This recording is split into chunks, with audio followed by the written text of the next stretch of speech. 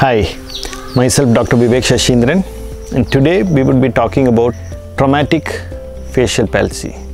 Well, in my previous video I did discuss about Bell's palsy which is probably one of the most common causes for facial palsy.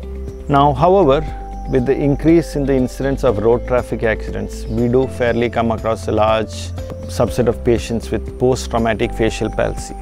Now, generally when the patient has uh, associated head injury, facial injury, it's very common to come across fractures of the temporal bone or the bone around the ear. Now what we need to realize is the fact that a major portion of the facial nerve actually travels through the temporal bone before it comes out to supply the muscles of the face. And whenever you have any kind of a fracture involving the temporal bone, there is a high chance that the facial nerve gets injured. Now, what are the possible ways in which the facial nerve can get injured in case of a, a temporal bone fracture? Now, sometimes you could have a facial fracture line running over the facial canal.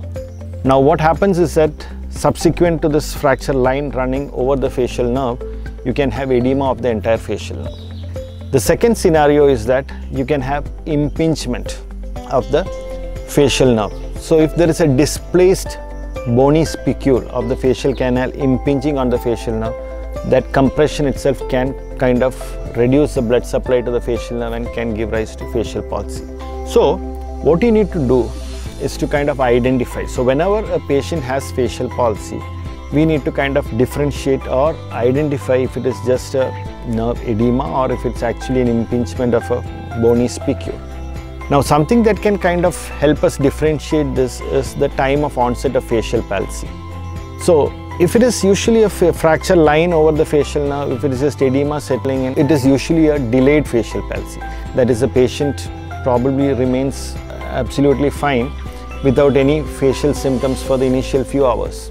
However, if it is some kind of an impingement or a transection, so sometimes a nerve can be cut through and through. In those situations, the onset of facial asymmetry will be immediate.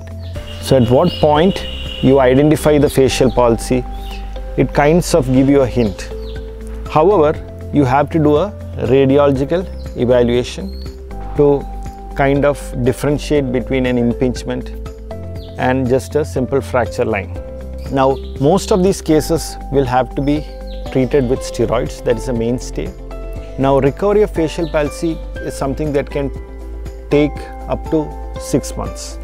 Now, if you have a radiological evidence of impingement, if the facial nerve is completely compressed by a bony spicule, a fractured segment of bone, then those are situations where you would probably have to go in for a facial nerve decompression. So what you would do is you would explore the ear, expose the facial nerve, and you can kind of radiologically correlate where exactly is the impingement, get to that segment and lift up those bony fragments impinging or sitting on the facial nerve.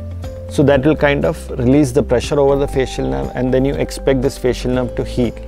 And once the facial nerve is decompressed, the outcomes, the best outcomes would take at least nine months from the time of surgery. So that is something that you have to keep in mind.